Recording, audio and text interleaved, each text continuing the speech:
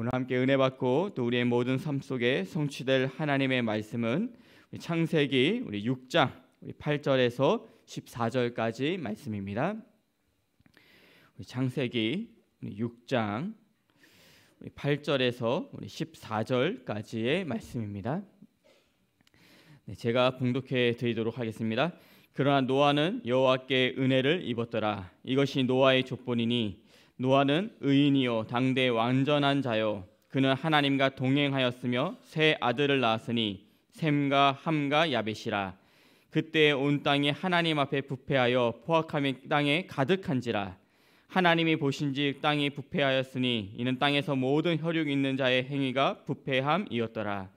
하나님이 노아에게 이르시되 모든 혈육 있는 자의 포악함이 땅에 가득함으로 그 끝날이 내 앞에 이르렀으니 내가 그들을 땅과 함께 멸하리라 너는 고페르 나무로 너를 위하여 방주를 만들되 그 안에 칸들을 막고 요청을 그 안팎에 칠하라 아멘 오늘 노아의 24시 또 25시 영원이라는 응답으로 함께 말씀을 나도록 하겠습니다. 노아의 24시, 25시 영원의 응답입니다. 우리 창세기 6장에는 어, 처음으로 네피림 문화가 나옵니다.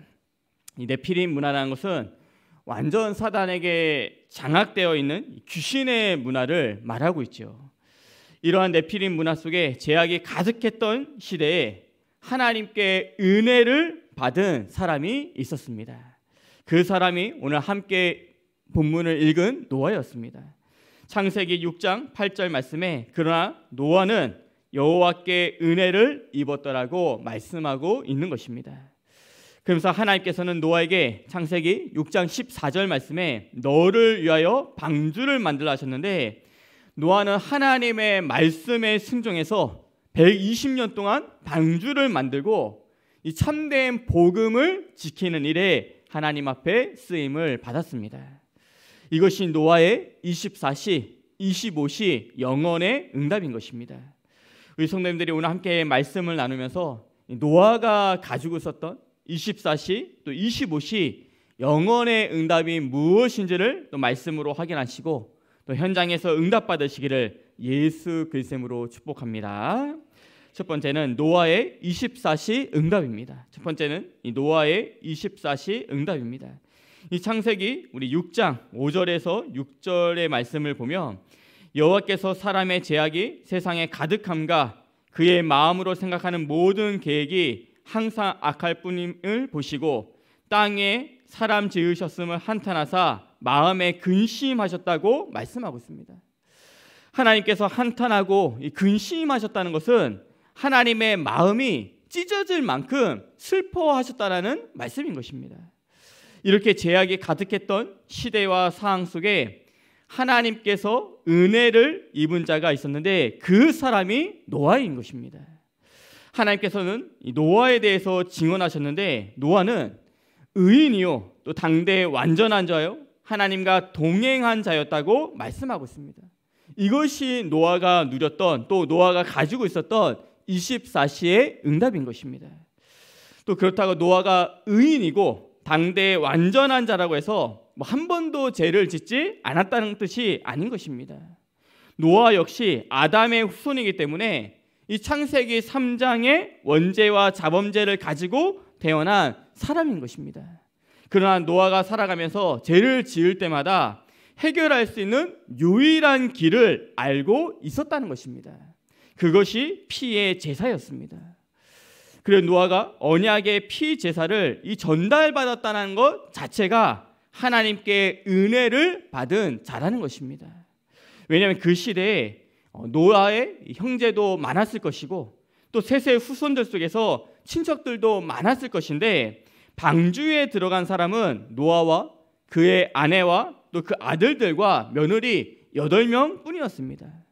이 말씀은 하나님의 언약이 시대 시대마다 전달되고 있는데 그 언약을 전달받는 사람은 소수라는 것입니다. 그래서 우리가 언약을 전달받았다는 것 자체가 하나님께 은혜를 받았다는 것입니다. 지금도 많은 기독교인들 중에서 그리고 하나님을 믿는 후대들 중에서 복음을 복음으로 알고 있는 사람은 많이 없습니다. 거의 다가 예수님을 세례요한처럼 또 엘리야처럼 또 에레미야처럼 또 선지자 중에 하나라고 알면서 신앙생활을 하고 있는 것입니다. 그러나 우리는 하나님의 은혜 속에서 예수가 그리스도는 참된 복음을 듣고 그 속에서 신앙생활을 하고 있다는 것 자체가 너무나도 감사한 것입니다. 그러면서 노아는 하나님의 말씀을 믿고 그 말씀을 따라갈 수 있는 은혜를 입은 자였습니다. 하나님께서는 노아에게 말씀하신 것이 13절에 하나님이 노아에게 이르시되 모든 혈육이 있는 자의 포악함이 포악함이 땅에 가득함으로 그 끝날이 내 앞에 이르렀으니 내가 그들을 땅과 함께 멸하리라고 말씀하셨습니다. 그러면서 노아에게는 너는 고페르 나무로 너를 위하여 방주를 만들라고 말씀하셨습니다. 이때 노아의 나이가 480살이었습니다. 그러면서 120년 동안 노아는 하나님께서 말씀하신 그대로 방주를 만들었습니다. 그것이 창세기 6장 22절의 말씀입니다. 노아가 그와 같이 하여 하나님이 자기에게 명령하신 대로 다 준행하였다라고 말씀하고 있는 것입니다. 노아는 120년 동안 하나님의 말씀을 잊어버리지 않고 하나님의 말씀을 피해서 도망다닌 것이 아니라 하나님의 말씀을 주신 그대로 믿고 지키고 순종해서 실천했다는 것입니다. 방주를 만들 때 이 노아의 영적 자세를 보면 우리 히브리서 11장 7절 말씀에 믿음으로 노아는 아직 보이지 않는 일에 경과심을 받아 경외함으로 방주를 준비하여 그 집을 구원하였으니 이는 이로 말미암아 세상을 정죄하고 믿음을 따르는 의의 상속자가 되었느니라고 말씀하고 있습니다. 믿음으로 노아는 아직 보이지 않는 일이라는 것은 그 당시에 비라는 것은 알고 있었지만 그것이 홍수가 된다는 것은 상상하지 상상하지 못할 정도로 일이었습니다.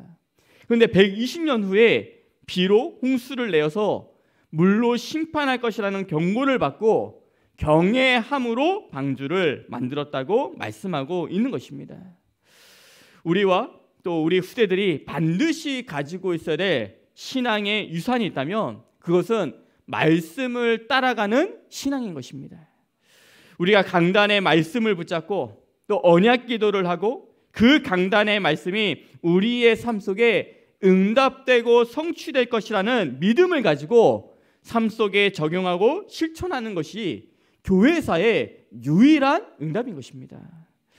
오늘 노아는 하나님께 한 번의 말씀을 받았는데 그 말씀을 붙잡고 120년 동안 흔들리지 않고 또 120년 동안 방주를 만들면서 120년 동안 그 응답을 누린 것입니다.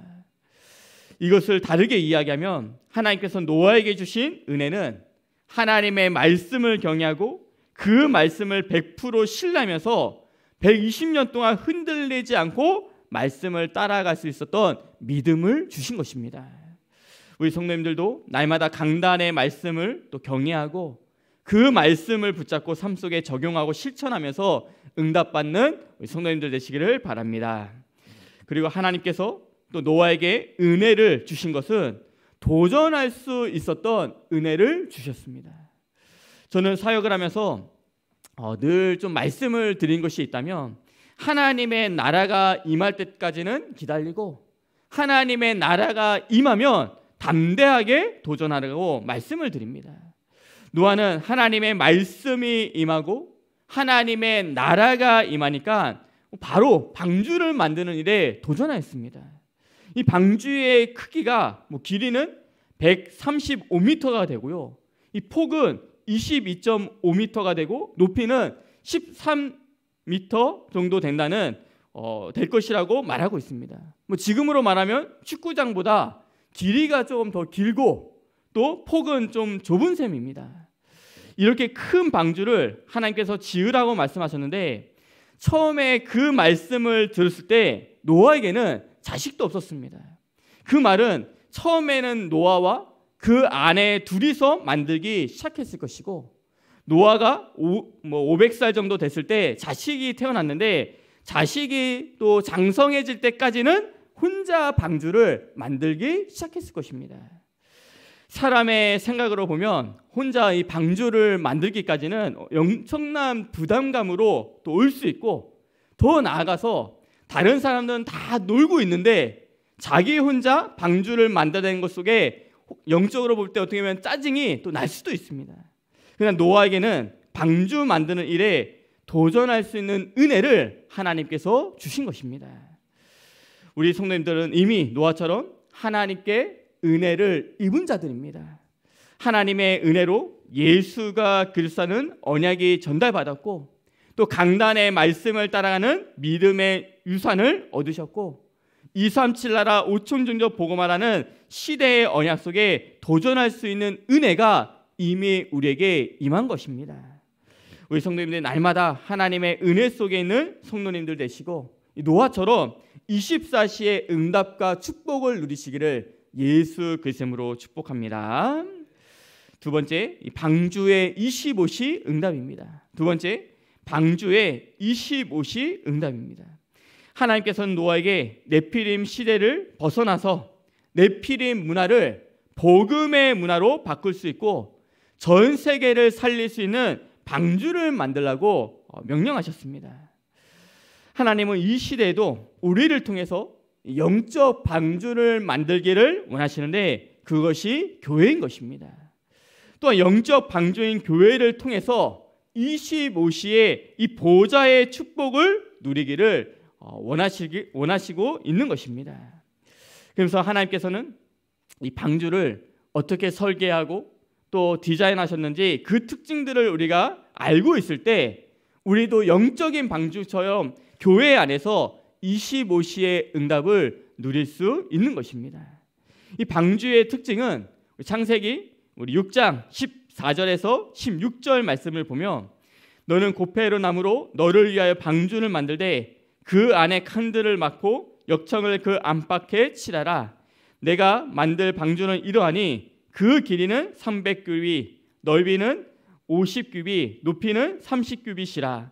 거기에 창을 내되 위에서부터 한 규빗을 내고 그 문을 옆으로 내고 상중하 3층으로 할지라고 말씀하고 있는 것입니다.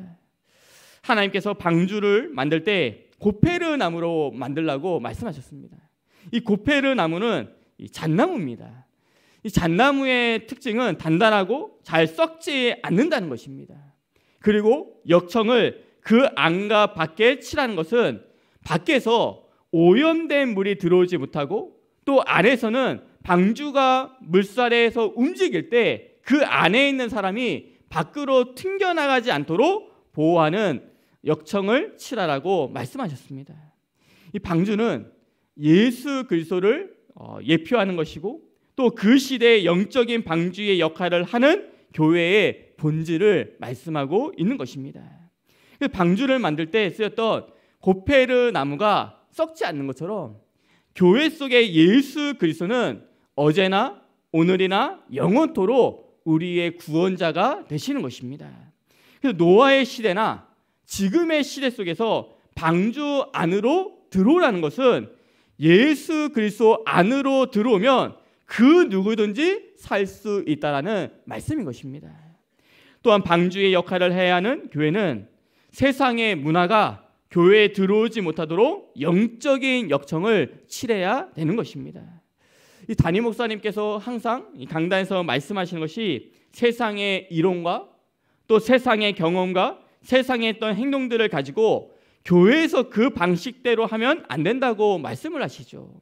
왜냐하면 교회는 하나님이 움직여 가시기 때문인 것입니다. 그리고 방주를 자세히 보면 없는 것들이 몇 가지가 있습니다.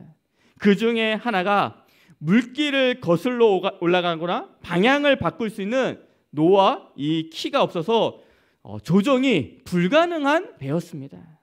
다시 말해서 하나님께서는 이 방주를 세밀하게 이끌어 가신다는 것입니다. 이렇게 하나님은 우리가 영원하신 예수 그리스도를 붙잡고 우리의 인생의 방향키가 되시는 하나님만 바라보는 교회의 축복을 누리기를 원하시는 것입니다. 그래서 하나님께서는 120년 하고 7일이 지나서 그 방주의 문을 닫아 주셨습니다. 창세기 7장 16절 말씀을 보면 들어간 것들은 모든 것이 암수라 하나님이 그에게 명령하신 대로 들어가매 여호와께서 그를 들여 보내고 문을 닫으시니라고 말씀하고 있습니다. 결국 문을 여시고 문을 닫으시는 분도 하나님이신 것입니다.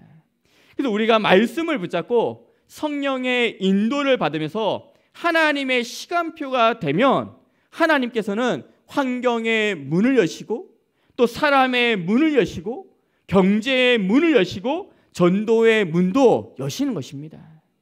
반대로 하나님께서 보시면서 우리가 너무 다른 길로 가고 있고 지금의 시간표가 아니라면 문을 닫는 분도 하나님이신 것입니다.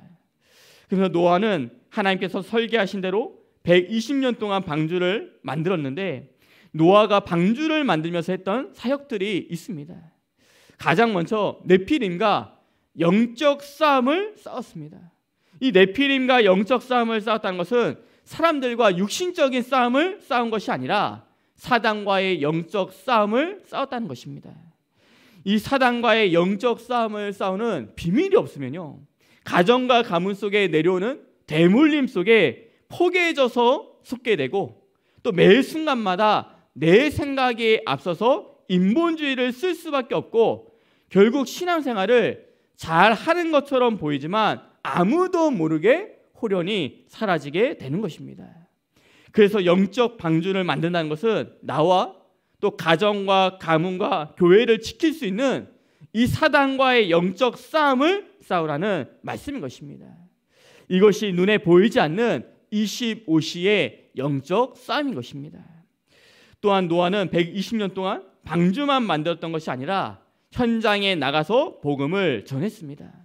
이 베드로 후서 2장 5절 말씀을 보면 옛사람 옛 세상을 용서하지 아니하시고 오직 의를 전파하는 노아와 그 일곱 식구를 보존하시고 경건하지 아니한 자를 세상에 홍수를 내리셨다고 말씀하고 있습니다. 노아는 방주를 만들면서 현장에 나가서 자기를 비웃는 그 사람들에게도 복음의 소식을 전했습니다. 이번 주 강단의 말씀처럼 그리스도인다운 그리스도인한 것은 예배와 훈련 속에서 하나님의 말씀을 듣고 순종하면서 237 나라 오총 존정에 그리스도의 빛을 비추는 자가 그리스도의 제자인 것입니다. 우리 성도님들도 이 사단과의 영적 싸움을 싸우는 비밀을 가지고 승리하시고 날마다 예배와 또 말씀 운동과 전도 운동을 통해서 영적 방주와 같은 25시의 보좌의 축복을 누리시기를 예수 그리스도로 축복합니다.